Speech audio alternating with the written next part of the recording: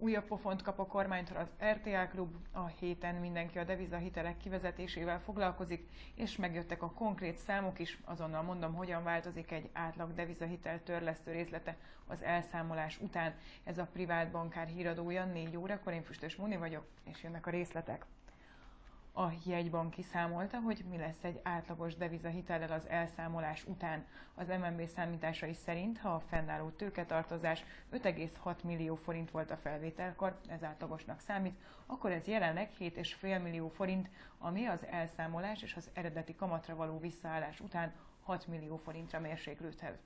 Mindez havi törlesztő részletekre számolva azt jelenti, hogy egy induló 40 ezer forintos havi törlesztő részlet, amely most a példában szereplő átlagos hitel esetén 78 ezer forintot tesz ki, az elszámolás után 56 ezer forintra csökken majd.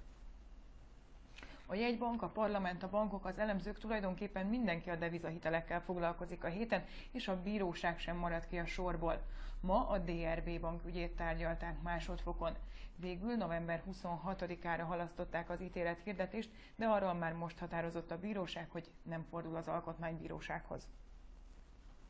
A kormány 40-ről 50 ra akarja emelni a reklámadó legmagasabb kulcsát, mondta a Nemzetgazdasági Minisztérium helyettes államtitkára az Országgyűlés Törvényalkotási Bizottságának ülésén.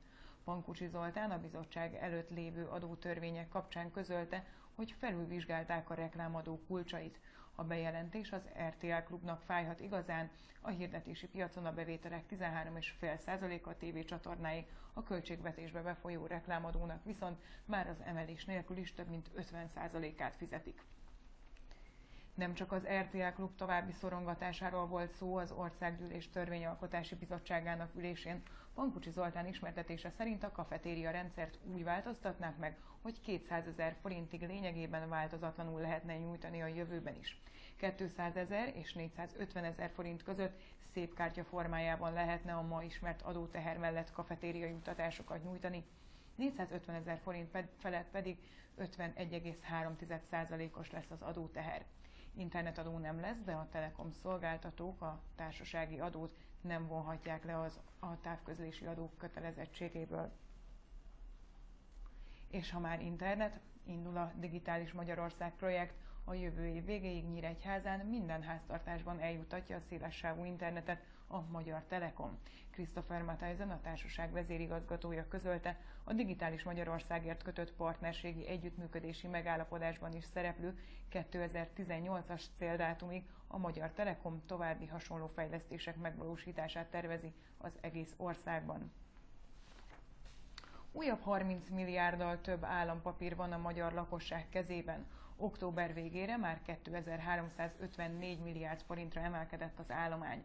Jelenleg talán a legjobb kockázatmentes befektetés az infláció követő hazai államkötvény, amely most 4,7%-os kamatot fizet.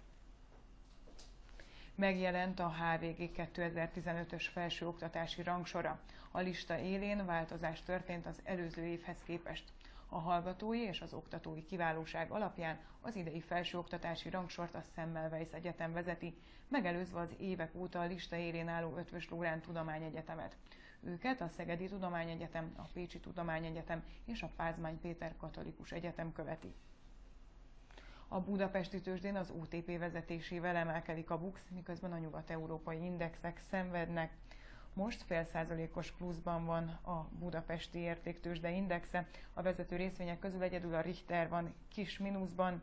A MOL viszont most átvette a vezetést, már 1 százalékos plusz mutat, az OTP fél százalékos pluszban, a Magyar Telekom pedig 3 százalékos plusz mutat egy órával a tőzsdezárás előtt. Ahogy az elmúlt hónap folyamán többször is ismét a 307-es szint környékén fulladt ki a forint erősödése, és jött kisebb visszapattanás. Most 307 forint 12 fillért kérnek egy euróért a bankközi devizapiacon, egy svájci frankért pedig 255 forint 50 fillért. Holnap reggel 10 órakor lesz legközelebb élő híradó itt a privát bankár oldalán. Addig olvassanak minket, köszönöm figyelmüket, viszontlátásra!